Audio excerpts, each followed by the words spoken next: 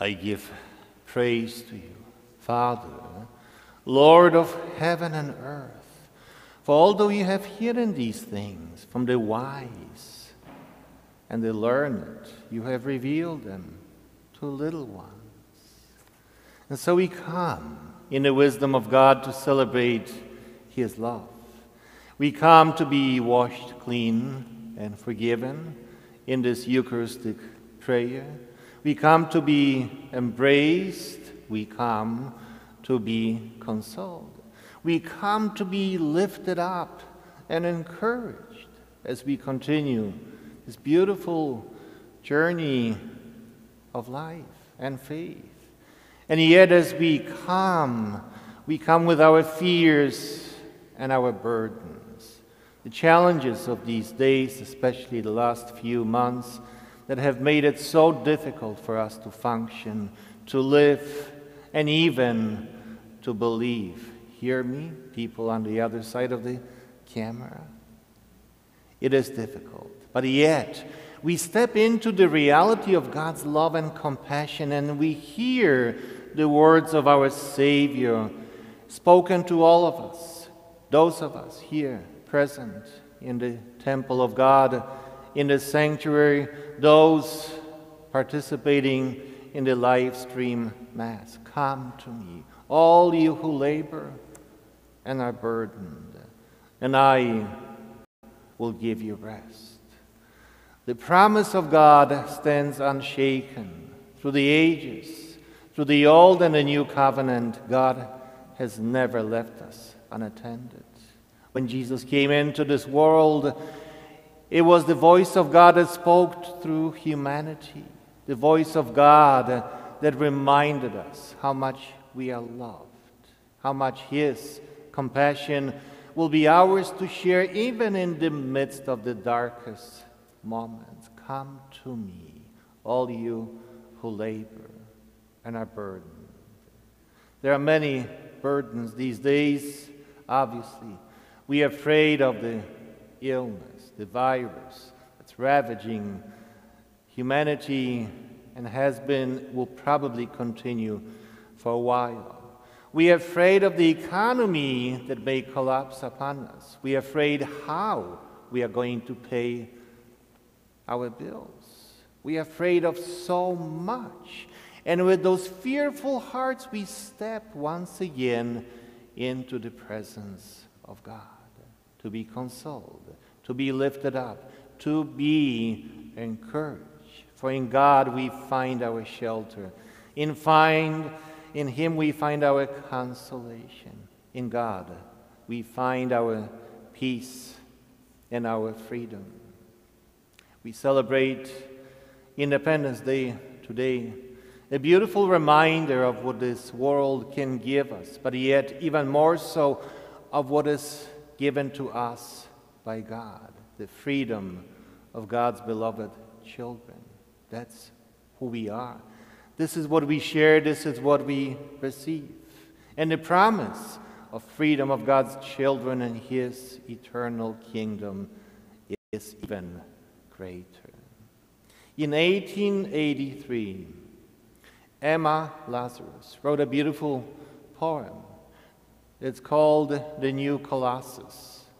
The poem was written as a fundraising effort to raise money for the pedestal for a certain statue that we know as the Statue of Liberty.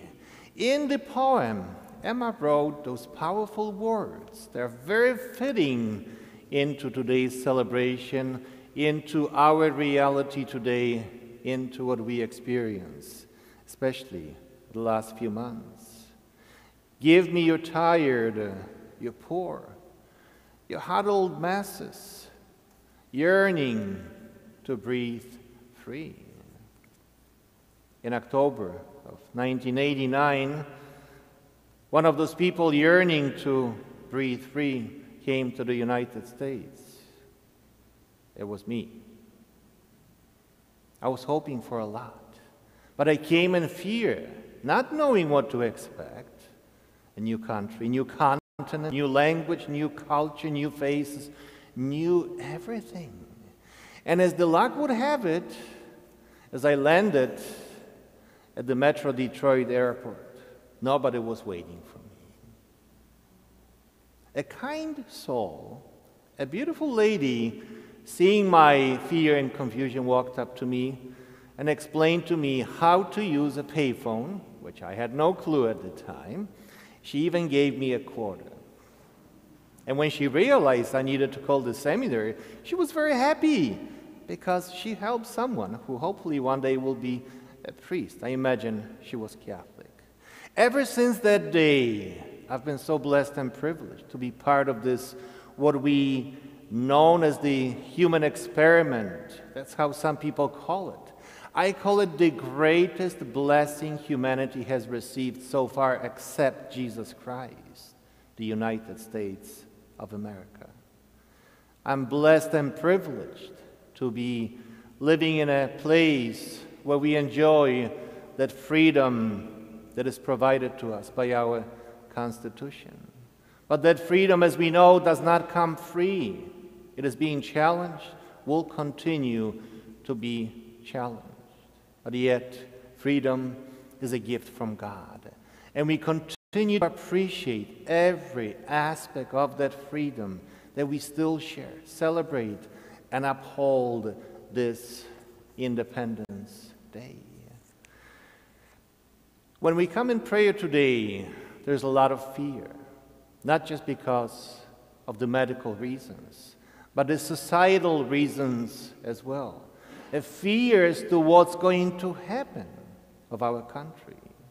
And fear can be crippling. Fear can give us a vision that doesn't necessarily reflect the actual reality. So here's an acronym for fear false evidence appearing real. False evidence appearing real. All too often, we watch the news, watch television, get on the internet, and all we hear about is fear that enters our hearts and it cripples us. Fear settles in. And it makes our vision not so clear any longer. Even our relationship with God and our loved ones suffers because of the fear. Here's another acronym for fear forget everything and run. Have you ever tried to get close to a rabbit? It's impossible. Have you noticed? It's impossible because rabbit lives in fear, constant fear, day and night, 24 7, his entire life. Rabbit always runs. But we are not rabbits. We are children of God. We are the citizens of this beautiful country.